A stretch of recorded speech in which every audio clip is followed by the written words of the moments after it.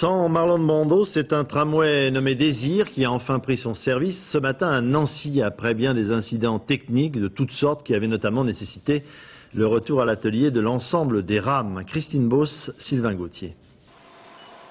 Dernier coup de lustre pour le jour J, le tram de Nancy le retour après 15 mois de déboire.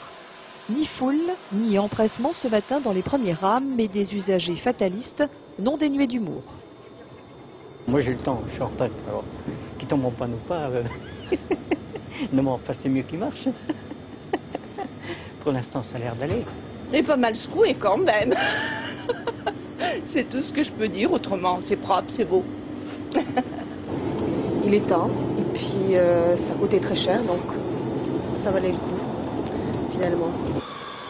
Présenté comme un mode de transport en commun innovant, ce tramway sur pneus qui allie le mode guidé par un rail central et le mode routier devait être 40% moins cher qu'un tramway classique. Inauguré en grande pompe en décembre 2000 par Bernadette Chirac, le tramway enchaîne incidents techniques et accidents. Résultat, son exploitation est suspendue pendant 13 mois. On évoque alors un défaut de conception du fabricant canadien Bombardier.